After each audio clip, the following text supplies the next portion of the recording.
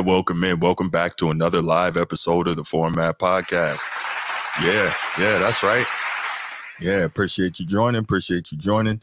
Uh, got a pretty interesting episode here today. Going to talk about some uh, pretty interesting topics, uh, mostly NBA, and then we're going to get to a little NFL at the end. Going to hit on this um, Michael Jordan couldn't go left, and we done with the 80s nonsense. Definitely going to talk about that. Going to talk about uh, Kevin Durant uh, passing uh, Shaquille O'Neal on the all time scoring list and where that has his legacy.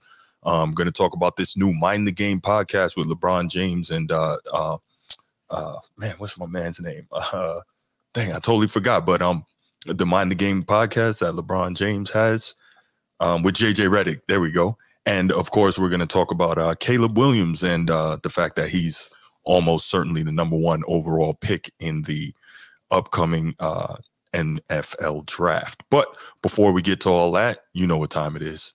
If you're here on YouTube and you haven't already, please make sure you go ahead, click that like, that subscribe, that notification bell. Make sure you're kept up to date whenever we drop new content on the channel. If you want the audio only version of the podcast, open up your audio podcast platform, hit the search bar, type in the format podcast, and we should come right up. If you're enjoying the content, make sure you give us that like, that five star review, and drop a comment. All that stuff helps us rise in the algorithm, helps us find more sports fans, helps more sports fans find us. And finally, make sure you write it down, put it in your phone, set an alarm, do whatever you got to do to remember. Saturday nights at 7 p.m., we are live here on the Format Podcast, and we'll give you the opportunity to call in. But anyway, um, uh, yeah, th- th- this was a great topic.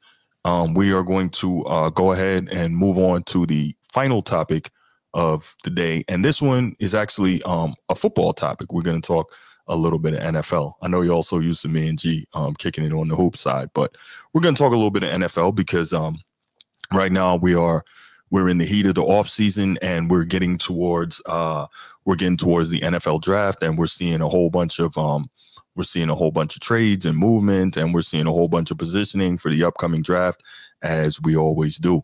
And um, so I think this is interesting because we're we're at a point now where it's kind of been established that well, Caleb Williams has been seen as the number one prospect overall for uh, pretty much since last year when he won the Heisman Trophy, and um, uh, the Chicago Bears have it, and there was kind of some hold up. Like, are the Bears actually considering keeping Justin Fields? Are they going to trade the pick, load up around him? Blah blah blah. What are we looking at? But now Justin Fields is out of the way. He's been traded to the Steelers. Caleb Williams is um there. So here's my thing, right? If you're a college football fan, I definitely want to hear from you on this because I'm a huge college football fan. I, I think it's an incredible sport and uh it's it's very interesting. So um here's my thing. Caleb Williams has been regarded, as I said, as the top prospect for the last couple of years. We hearing the talk about he's a generational talent. He's this, that, and the third. Now, I'm not going to be disrespectful to Caleb Williams. I'm not stupid. The guy has incredible talent, ridiculous talent. He can make plays off schedule, which is something that everybody is looking for from from modern quarterbacks. He's got elite arm talent, whether in the pocket or on the move. Um, he's he's very mobile, which again is something that you look for from modern quarterbacks. G and me notice, especially being Ravens fans and our guys Lamar Jackson. Um, so Caleb Williams is definitely special. But when they talk about generational, I'm really wondering why is that? Why do they call Caleb Williams generational? And the reason I ask that is, is as good as he is, is he truly um does he what does he do better than another guy who played in college for his uh, former head coach Lincoln Riley, Kyler Murray? And I'm going to bring up some information here so you can see it. Caleb Williams, he has had incredible numbers. Uh, he's very accurate, 67% completions for his career, 10,000 passing yards, career passer rating of 169, right?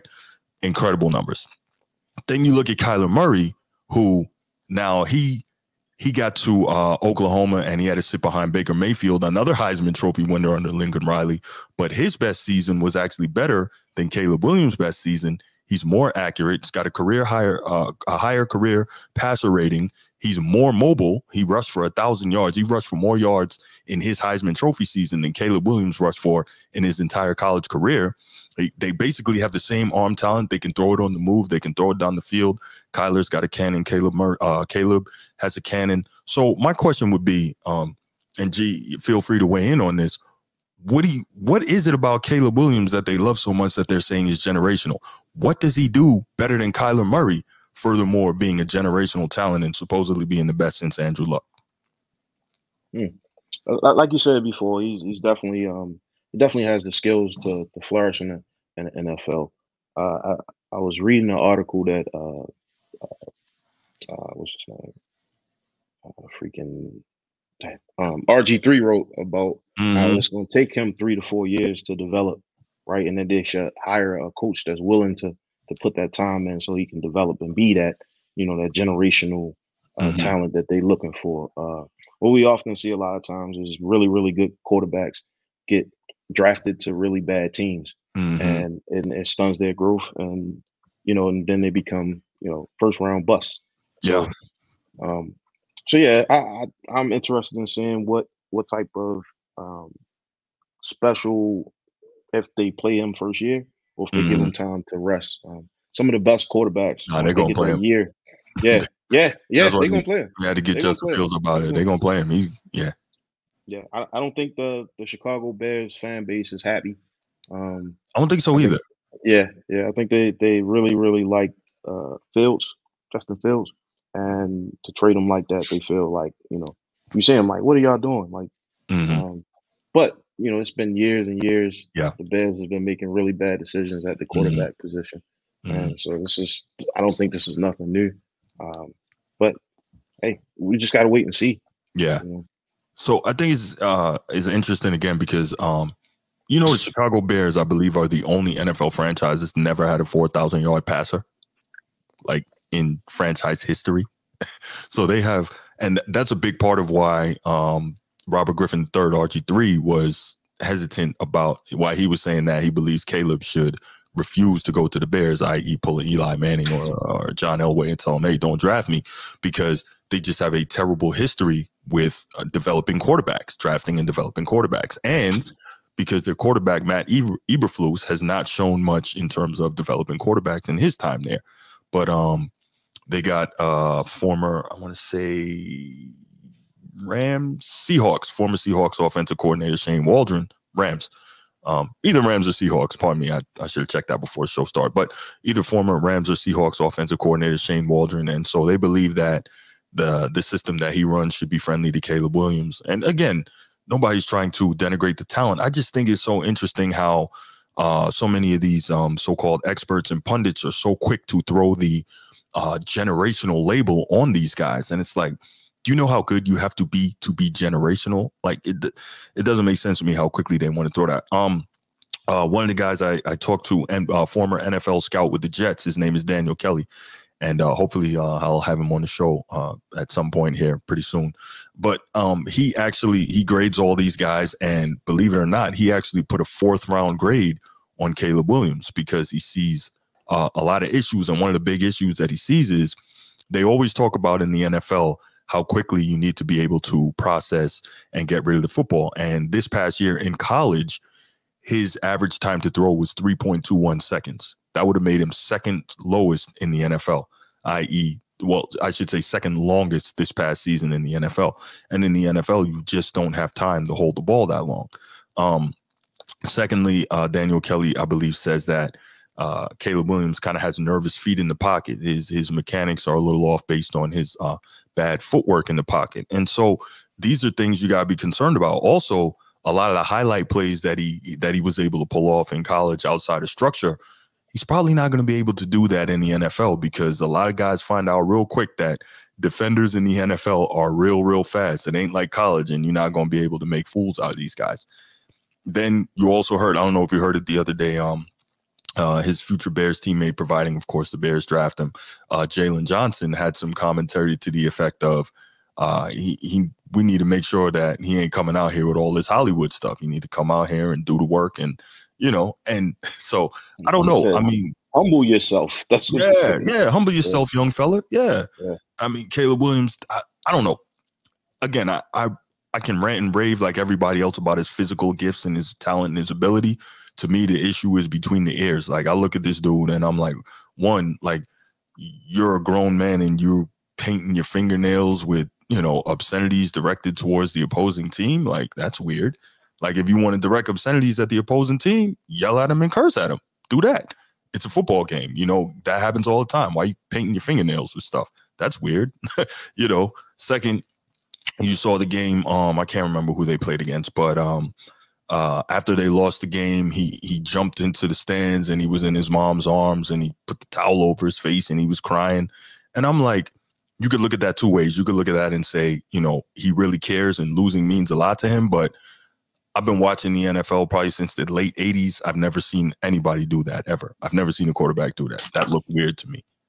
you know, maybe, maybe he has a real deep connection with his mom and respect due for that. You know, no problem there. but that's, yeah. I stopped watching. yeah, I stopped watching them after that. Yeah, that's, that's just kind of weird, right? And then but, you know you also see when when the games aren't going well or he's not playing well, he's kind of off off by himself on the on the sideline and not like you know he's not up there uh bringing the troops together and what, what does Stephen A always say galvanizing the troops. He's he's not that kind of guy.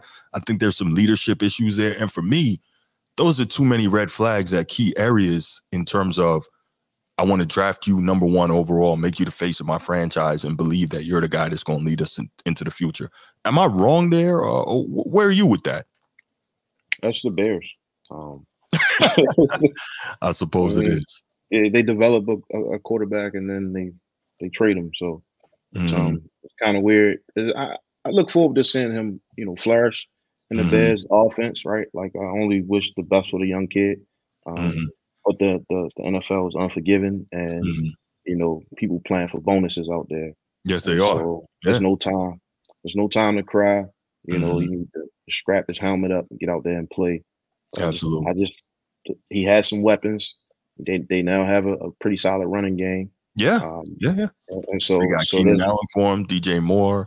You got Cole Kmet at tight end and they could probably draft another receiver. I think they got to pick at number nine, number one, and number nine. So they could draft it, it, And if it's me, I'm saying if he's still there, I'm grabbing Rome Odunze from Washington. I think that dude is a beast at wide receiver. He's actually, even though Marvin Harrison Jr. is widely regarded as the, the best overall player in the draft, I think Rome Odunze is the best wide receiver in the draft. I could be crazy, but I really believe that based on what I saw. But yeah, they they um they are loading up, and I think Ryan Poles, the GM for the Bears, he's doing everything he can to, if they take Caleb, give him the best uh, position to succeed. But um, we'll see what he is. Yeah, yeah. All right, so um, I think we're gonna leave it there for the night. Um, for everybody that tuned in, thanks so much. Really appreciate you. I'm gonna really uh, I'm gonna get that phone situation worked out. I apologize, I couldn't take those calls. I don't know what was going on there. But um, yeah, uh, we'll be back with you next week, um, 7 p.m. Saturday night. Again, I appreciate you. Make sure you like and subscribe. Uh, check out the channel, got tons of content on there. And we're out. Peace.